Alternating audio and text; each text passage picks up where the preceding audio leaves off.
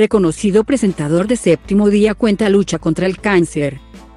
Diego Guauque, quien completa más de 14 años siendo reportero del programa Séptimo Día del canal Caracol.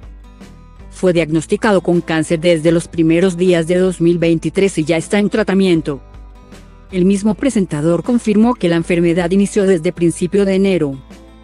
Luego de llegar de un viaje de Argentina, donde estuvo compartiendo junto a su familia.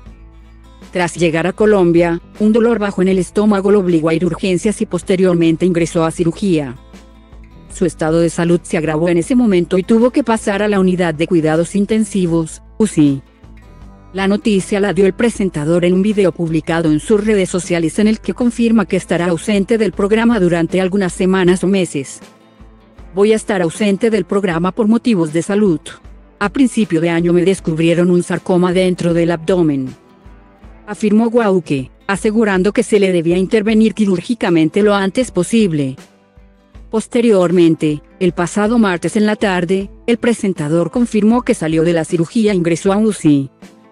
Me encontraron el sarcoma y me quitaron un trozo. No todo porque está pegado. Con lo que sacaron vamos a saber nombre y apellido, dijo Guauque. Mi hija necesita a su papá, ahí estoy yo. Mi esposa necesita a su esposo y ahí voy a estar yo. Muchos años más. Creo que el periodismo también me necesita, ahí voy a estar.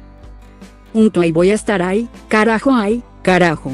Con fuerza, dijo el presentador en medio de lágrimas.